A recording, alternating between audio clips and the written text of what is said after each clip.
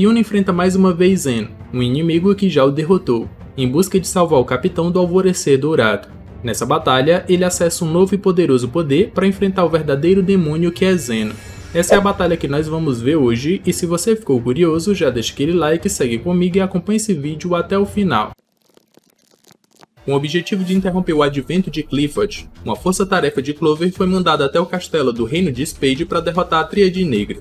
Só após isso é que o ritual poderia ser interrompido, então diversos grupos de magos vão até cada um dos membros para derrotar todos eles. Um desses grupos é composto por Yuno e Langris, que logo chegam ao local onde Zeno estava. Zeno percebe que os invasores são de Clover, e pergunta como Yuno continua vivo depois da última batalha entre eles, mas Yuno responde que foi resultado da magia do seu capitão Vegiance que salvou a todos. Ele veio buscar seu capitão, mas antes disso vai acabar com Zeno primeiro. Ele lança sua magia de vento em forma de tufão em direção ao seu inimigo, que bloqueia a magia com sua magia de ossos com uma defesa absoluta. Ele dissipa esse ataque do Yuno com extrema facilidade, então declara que ele poderia ter sobrevivido um pouco mais se tivesse ficado em casa. O Langris interrompe ao preparar sua magia espacial e dizer que o inimigo fez muita coisa quando ele não estava. Ele lança diversas esferas da sua magia espacial em direção ao Zeno, que para todas elas com sua própria magia espacial. Então bloqueia toda a mana desses ataques ao declarar que se ele não existisse, Langris seria o mago espacial mais forte. Langris continua e lança sua magia espacial, Destruição do Arcanjo, mandando toda essa massa espacial em direção ao Zeno. Mas antes do seu ataque o atingir, Zeno usa sua zona de mana espacial, separando toda aquela sala em um cubo de espaço gigantesco. Aqui a magia do Langris é desfeita, então Zeno declara que Yuna é idiota de ter voltado para lutar contra ele, já tendo experienciado essa magia. Enquanto ele prepara sua magia de ossos para matar os dois magos, declara que eles morrerão sem que ele dê nenhum passo. Mas o Yuno simplesmente suspira e convoca a Bel, para que eles possam ir com tudo desde o início. Quando ela aparece, já é pistolaça pela derrota anterior pro Zeno. Ela declara que ninguém humilha ela e o Yuno e sai impune. Então libera todo o seu poder para que juntos eles possam derrotar esse demônio. Aqui nós somos apresentados ao mergulho espiritual Espírito de Bóreas, uma transformação onde o Yuno ganha uma armadura mágica ao ser banhado pela magia da Bel. Zeno sente uma pressão absurda, mas sabe que dentro do seu espaço absoluto eles não podem fazer nada. Quando eles iriam atacar o Yuno com seus ossos, todos são dizimados ao chegarem próximos dele. Yuno declara que será o novo Rei Mago, então não pode deixar um inimigo sair na vantagem contra ele. Zeno percebe que não está controlando toda a magia dentro do espaço, ele cogita que Yuno está assumindo o controle com um poder ainda maior, mas percebe que na verdade o Yuno é mamado pela mana. Yuno ataca com sua nova arma espiritual, mas Zeno se protege com seus ossos. Então Yuno retruca sobre sua declaração anterior de que todos morreriam sem que ele desse nenhum passo. Ele destrói os ossos de Zeno e perfura seu peito com a rajada de vento que deixa um grande buraco, um buraco enorme no seu peito. Yuno finaliza dizendo que ele estava falando com um cara errado. Zeno é jogado para longe, enquanto Yuno diz que é para ele morrer lamentando ter colocado as mãos no alvorecer dourado. Zeno continua encarando, enquanto Langris declara que eles podem vencer e parar Clifford, e finalmente salvar o seu capitão Vegiance. Aqui descobrimos que Zeno só estava com 70% do seu poder, mas quando o primeiro portão da Clifford se abre, toda a Tríade Negra consegue alcançar 100% do seu poder demoníaco total. Com todo esse poder, Zeno se cura totalmente e começa a empurrar Yuno para longe com uma força ainda maior. Então declara que a vitória do Yuno era um frágil e efêmero sonho. Com seu poder total, Zeno planeja acabar com tudo o mais rápido possível, já que tudo isso não passa de perca de tempo. Mas Yuno pede a Langris para segurar o demônio por 3 minutos que ele vai acabar com tudo no próximo golpe. Ele diz que esse ataque pode derrotar o inimigo, mas precisa de tempo para armazenar mana. Langris se põe à frente de Yuno mesmo sabendo a diferença absurda entre ele e Zeno então sabe que não vai dar para segurar ele por 3 minutos inteiros. Mesmo assim, vai dar tudo de si para fazer isso. E Uno até dá uma provocada como meio de incentivo. Ele diz que o mago de magia espacial mais forte deve ter uma forma de fazer isso. Afinal de contas, não vai só deixar o inimigo bater nele durante todo esse tempo. Zeno começa seu ataque por saber o que eles podem e não podem fazer dentro da sua dominação de mana espacial. Mas dentre todos aqueles que ficariam incapazes dentro dela, uma exceção é o Yuno que é mamado pela mana e o outro é um mago espacial que consegue dominar sua própria zona de mana. Langris cria sua própria zona e consegue extinguir todas as vinhas de ossos do Zeno que tentavam entrar no seu espaço. Zeno percebe que, por mais que seja pequeno, ele conseguiu criar um território de mana próprio dentro do seu espaço absoluto. Yuno ri e diz que já sabia que ele conseguiria, o que é respondido com Você é um novato realmente irritante. Ele lembra que no passado chegou a odiar o Yuno porque eles eram muito parecidos. Mesmo assim, pensava que nunca poderia ser ultrapassado por um plebeu como ele. Mas agora está aqui diante de um inimigo infinitamente maior protegendo o Yuno. Enquanto ataca incessantemente, Zeno simplesmente se mantém calmo por saber que essa magia é só defensiva. Com a sua mana completamente insana, logo Langris vai ceder. Ele já está aguentando muito ou o máximo que pode para dar tempo ao Yuno. Langris lembra que no passado sua magia espacial era invencível, então bastava ficar no seu esquadrão sendo o mais forte. Mas Yuno era diferente, sua força não era só sua, era como se o seu vento estivesse estimulando todo mundo, como se todos estivessem voando ao seu lado. Seu desejo de nunca perder inspirou a todos a se tornarem mais fortes. Então declara que é irritante, mas tem que admitir que Yuno é o verdadeiro vice-capitão do Alvorecer Dourado. Mas para ele, diante de um poder esmagador, emoções e persistência não significam nada.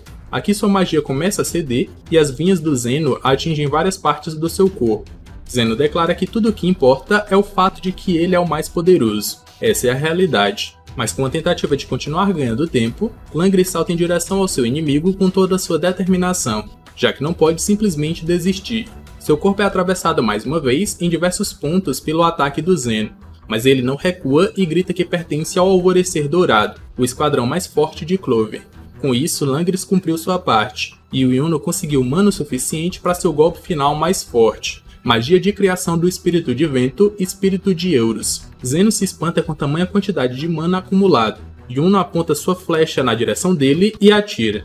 Esse ataque é tão rápido e absurdo que Zeno nem tem chance de se esquivar. A flecha atravessa seu peito com tudo.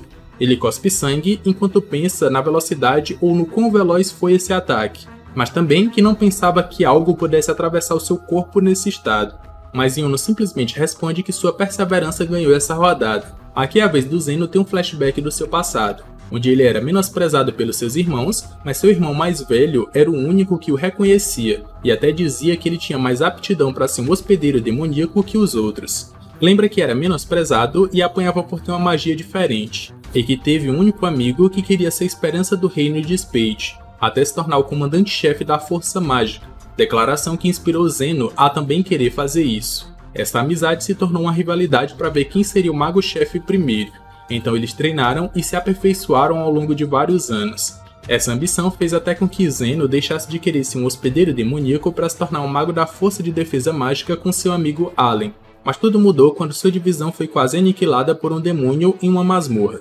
Nesse momento, Zeno sabia que poderia vencer se lançasse seu feitiço supremo com toda a sua magia. Ele só precisava de uma abertura para isso, mas seu amigo Allen não queria perder de forma alguma, então atacou o demônio sozinho, mesmo sabendo que iria perder e morrer. Mas aqui Zeno percebe que essa era a abertura que ele precisava. Enquanto seu amigo lutava, ele podia lançar sua magia e matar o demônio, mas por consequência seu amigo também. Se ele não fizesse isso, todos iriam morrer, Inclusive, uma cidade próxima seria o alvo seguinte daquele demônio. Com toda sua coragem, ele lança sua magia suprema e atravessa o corpo do seu amigo e do demônio.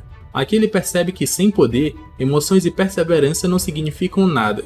Com lágrimas nos olhos, ele percebe que os fracos sempre acabam sendo descartados, então finalmente cede aos desejos do seu irmão e acaba se transformando em um hospedeiro demoníaco. De joelhos, ele lembra do momento em que fez seu acordo com Beelzebub, Cara a cara com o demônio, ele pediu um coração demoníaco para si, mas o demônio pergunta o que ele dará em troca desse coração, o que é respondido com todo o meu corpo. Zeno ainda complementa dizendo que se o reino de Spade continuar existindo como está em contrato, dará até mesmo a sua alma. Só com esses termos que Zeno finalmente ganhou seu coração demoníaco.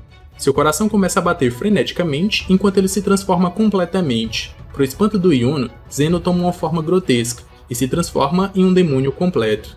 Então declara que agora que tem um coração demoníaco, sua força é devastadora. Quando Yuno tenta atacar, Zeno simplesmente prende ele em uma zona individual em forma de cubo, onde mistura sua magia espacial e magia de ossos, que atacam Yuno de todos os lados. Ele até tenta se proteger, destruindo inúmeros deles, mas acaba sendo atingido em várias partes do corpo. Ele fala que se Yuno não tivesse desviado um pouco aquela flecha anterior para não atingir seu amigo, teria acertado seu coração e vencido. Mas como isso não aconteceu, agora Zeno vai com tudo para cima dele com um ataque avassalador. Um ataque tão forte que destrói parte do castelo e faz Yuno perder sua transformação.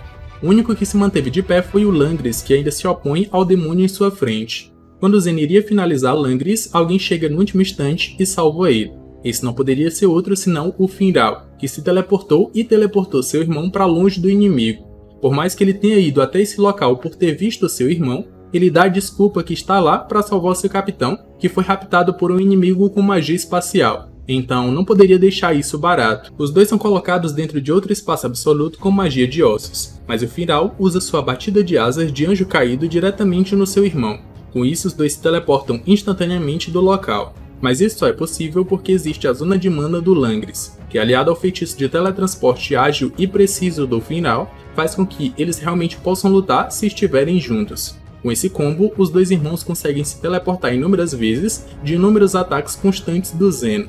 Mas o demônio sabe o que eles pretendem fazer e o que eles querem, e ele vai acabar com tudo isso quando eles atacarem a próxima vez. Quando os dois finalmente entram na zona de mana do Zeno, ele desfere seu ataque final, mas o teleporte do final foi tão rápido que ele não acerta seu ataque. Então os dois irmãos aparecem atrás do demônio, que não tem qualquer reação contra esse ataque. Para isso, Firal precisou usar o método de mana, então agora o Langres pode atacar com tudo, porque defesa não significa nada contra sua magia espacial. Langres atravessa o peito de Zeno do ombro em diagonal pelo torso, e teoricamente parte ele em dois pedaços. A batalha corta para o Yuno se levantando depois de passar alguns minutos desacordado, então se pergunta cadê o Zeno e o Langres mas sua próxima visão é um demônio imponente atravessando o peito do seu companheiro enquanto o irmão dele está caído no chão. Ele se espanta ao ver que mesmo uma magia espacial capaz de apagar tudo, não é capaz de apagar um coração demoníaco. Yuno vê seus companheiros derrotados frente a uma morte iminente, então pondera sobre nada ter funcionado e sobre o que ele fará quando mal consegue se levantar. Mas o demônio simplesmente declara que venceu. Yuno se pergunta se fez a escolha errada, ele perdeu metade dos seus companheiros, declarou em alto e bom som que queria participar dessa unidade para os outros capitães, treinou como se sua vida dependesse disso, mas mesmo assim nada deu resultado. Ele chora ao se perguntar se esse é o fim. Ele entra em um estado de negação e pergunta se realmente merece passar por tudo isso, depois que todos lhe chamaram de gênio, que era a esperança da vida e o escolhido. Mas lembra que fez um juramento no túmulo dos seus amigos mortos, um juramento que também fez com Asta. Ele se levanta com ferocidade, porque isso tudo não é o que ele é. Então algo sobrenatural acontece. Uma massa de energia fala e diz que é ele, e que Yuno está certo, mas diz que Yuno tem sua própria força também. Nesse momento, um outro Grimório brilhante aparece diante dele. Um novo Grimório dá poder ao Yuno, um poder totalmente diferente do que ele já tem. Aqui um feixe de luz emana do Yuno do castelo ao céu. Todos ficam boquiabertos por saberem que o Yuno realmente é com esse novo poder, frente a um demônio superior, Yuno declara que vai salvar seus companheiros, o reino e vai se tornar o Rei Mago. Exalando de poder com dois grimórios, ele declara que vai acabar com o demônio aqui. Seu novo grimório se abre, enquanto seu poder continua exalando frente ao seu maior inimigo. Zeno até se pergunta como diabos ele tem dois grimórios, mas antes que ele pudesse fazer qualquer coisa, dois feixes de luz atravessam seu corpo. Ele olha para o lado e se pergunta o que é que está à sua frente algo em formato de estrela. Aqui descobrimos que a família real de Spade possui uma magia única passada de geração em geração. O rei com a magia do sol e a rainha com a magia da lua têm um único herdeiro com a magia das estrelas. Com essa nova magia, quatro estrelas aparecem ao redor do Yuno com seus dois grimórios. Então Zeno chega à conclusão que Yuno é realmente filho da família real de Spade. Bel até fala que agora sente que conheceu o verdadeiro Yuno, que responde que mesmo assim vai precisar que ela recarregue energia dentro dele para lutar com todo o seu poder. Após isso, ele volta sua transformação Espírito de Boreas para lutar com tudo. Yuno agradece o tempo que os irmãos arrumaram para ele se recuperar, mas diz que agora vai resolver tudo. Os dois se espantam com o Yuno ter dois grimórios e se perguntam quem é ele, mas Yuno responde que é só o vice-capitão do Alvorecer Dourado. Nesse momento, Zen ataca com suas vinhas de ossos, mas as estrelas de Uno criam uma barreira que o protegem desse ataque. Quando Zen envolve Uno na sua zona absoluta, esperando que ele não possa escapar, Yuno simplesmente se teleporta entre as estrelas e aparece diante dele. Yuno declara que essas páginas foram gravadas para que ele possa derrotar esse demônio. Então lança seu ataque Lança de Quartil, um feixe de luz criado pelas suas estrelas que dizima parte do corpo do Zeno, enquanto ele declara que vai provar que as escolhas que fez não foram erradas. Só que o Zeno não fica com medo. Na verdade, ele fica sério em querer esmagar Yuno enquanto se regenera. então ataca com ossos por todo o campo de batalha, enquanto Yuno tenta se defender. Eles continuam disputando força para provar seus pontos de vista, para provar quem é aquele que está certo em relação às suas escolhas. Então os dois cruzam suas espadas, declarando um ao outro que vai vencer. Uma luta frenética recomeça, enquanto os dois cruzam espadas e um é atacado de todos os lados pelos ossos do Zen, mas ele simplesmente continua se teleportando para cada uma das suas estrelas enquanto se defende. Aqui Uno lança uma estrela que atravessa parte do corpo do Zeno dividindo ele em dois, mas ele não recebe nenhum dano e logo se regenera, para usar uma combinação da sua magia de ossos com magia espacial e assim criar a espada demoníaca Dunsleep. Então lança diversos cortes a longa distância com a sua ruptura espacial, um tipo de corte espacial com ossos que destrói o espaço, um ataque que Yuno não consegue bloquear e que destrói suas estrelas mais rápido do que ele consegue regenerar. Zeno lembra da promessa do seu irmão em acabar com os fracos agora, para trazer eles de volta no futuro com corpos imortais. Ele relembra de como seu irmão mais velho diz que os quatro irmãos Ogredes podem usar sua magia para recriar a humanidade. Ele reafirma suas convicções sobre criar um reino verdadeiramente pacífico, uma luta pela prosperidade do reino de Spade. Com esses ataques que cortam o espaço, o castelo começa a ser completamente destruído, enquanto Yuno só consegue se esquivar, mas sabe que chegou a hora de usar o seu golpe reserva especial, ele invoca seu espírito de Boreas e contra-ataca o corte espacial do Zeno, em um choque absurdo de ataques. Com isso, sua última estrela foi destruída, mas o coração de Zeno ficou exposto. O demônio pensa que venceu porque não tem mais como Yuna se teleportar ou defender, então esse é o seu fim. Mas o estágio santo é atingido quando a ressonância entre espírito e hospedeiro está próxima de 100%. Então, para permanecer em uma batalha que o manteve à beira da morte, Yuna obteve o poder para destruir esse demônio. Mesmo que seu corpo estivesse atravessado por ossos em diversas partes, com Zeno desferindo seu golpe final ao declarar que venceu, Yuno se esquiva desse corte espacial se teleportando para outra estrela, porque quanto mais forte o mago, cada vez mais estrelas nascem. Yuno aparece atrás do Zeno com a sua conexão, então declara que o demônio quer dizer que eles venceram, ao atravessar o coração do demônio com seu ataque Espírito Santo Zephyr. Enquanto o coração demoníaco de Zeno era partido ao meio, ele pergunta ao Yuno o que os tornam diferentes um do outro. Yuno responde que nem ele sabe a resposta. A única coisa que ele sabe é que ainda não cumpriu a promessa que fez ao seu rival. Em seus últimos momentos, Zeno lembra do seu amigo e rival, e da promessa que eles fizeram sobre seu comandante-chefe de Spade. Seu corpo começa a desintegrar, enquanto parte do castelo desaba em frente aos outros. Nath avisa a todos que Uno venceu Zeno, então Asta fica feliz e excitado com o grande avanço do seu rival. Agora chegou sua vez de participar desse vídeo, já comenta aqui outra batalha de Black Clover que você quer ver aqui no canal. Comenta que eu vou estar tá vendo e posso trazer esse vídeo para vocês. Mas aqui no canal a gente já tem vários outros vídeos sobre batalhas nos animes que eu acredito que vocês vão gostar. Para assistir, vão estar aparecendo aí na tela final. Deixa aquele like, se inscreve no canal se ainda não for inscrito. Eu me despeço por aqui, um abraço e valeu!